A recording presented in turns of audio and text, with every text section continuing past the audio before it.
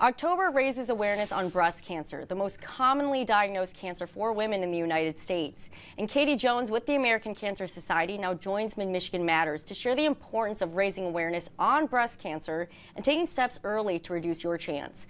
Katie, we talked about earlier whether we're seeing cancer rise or decline, and what are you seeing in terms of breast cancer? Yes, so the American Cancer Society puts out facts and figures every year. So our breast cancer facts and figures went out in September. And um, we're seeing an overall um, increase about 1%, but the good news is there's been decline by 44% since 1989. That was kind of like the watermark year. Um, well, we are also seeing that disproportionately affecting different populations. So that's been that is now a concern, and we really are trying to like through research funding and our cancer coalitions, like finding out why. That research is a key part in yes. finding that why. Yes. So we fund more research than any other private organization in the country. The government is number one, and then us. Um, so research, yes, finding new treatment options, but also looking in like, why are people not getting screenings in certain areas? Um, why is this treatment working for this population but not this population? So it's a wide range. That's very interesting. Yeah. You mentioned that just finding the different uh, diverse areas and what that looks like. Mm -hmm. We mm-hmm. talk about research improving modern medicine and yeah. technology, especially when it comes to early detection. What is the importance of going to get screened early, getting the mammograms, and asking your doctors questions when you are concerned? Right. So we know when you are when you find cancer early, you have more options, and that's always when you have the best outcomes. So um, mammography is still the best way of finding cancer. Um, our guidelines are, you know, talk to your doctor. If you have a high risk in your family, you might need to start earlier, but um, really, generally, everyone should have access at the age of 40, but everyone by 45 needs to be having yearly mammograms.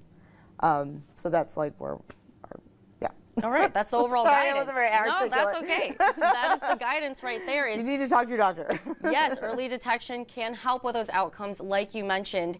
And so, how is the American Cancer Society making strides against breast cancer, right. especially with that research?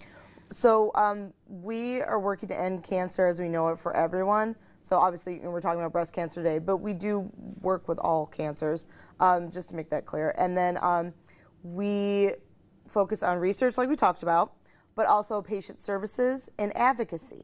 Um, I mentioned the government funds more research than anyone, way above everyone. So we had volunteers in Washington, D.C. advocating with our congressmen and our senators, making sure that people have access to tests and screenings and that they're funding research. But also, we'll be at our capital, our state capital in March, doing the same thing, advocating for tobacco prevention funding and things that are really affecting Michiganders. Limiting the risk of cancer. Yeah. Katie, where can people go to donate, to volunteer, to learn more information on breast cancer? So cancer.org is a our website. You can find information on volunteering, caregiver resources. Cancer doesn't just affect the patient. Survivor resources. Um, our most utilized programs are Road to Recovery, where volunteers will take patients to treatment. But we are having a volunteer shortage right now. where we need volunteer drivers. So that's my final plug, uh, cancer.org slash drive to find out how you can be a volunteer driver. But 1-800-227-2345, 24 hours a day, we're there with information. And making a difference. Yes. Katie, thank you so much for joining. Thank you for having me. And we do want to send it over now to First Alert meteorologist Justin Bradford to talk about the warming temperatures in the forecast. Justin.